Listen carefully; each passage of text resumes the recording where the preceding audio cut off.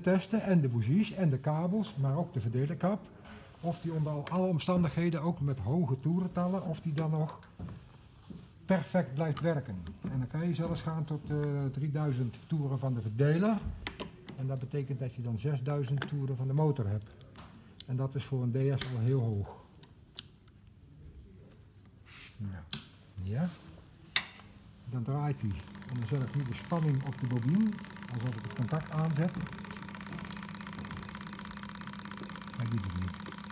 Dat is logisch, want ik moet natuurlijk ook de verdeler aansluiten op de bobine. Dan krijg ik zo op donder, draait door de batterie heen. En dat is hoogspanning onder lage vermogen. Nou, dan kan je die volgorde kun je zien.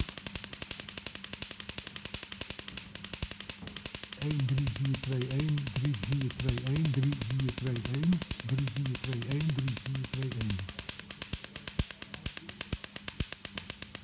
Nou, dit is natuurlijk startsnelheid. Dit is ongeveer 100 toeren van de, ja nog ineens van de motor. En dan gaan we de motor stationair laten. Dit is ongeveer stationair toerental.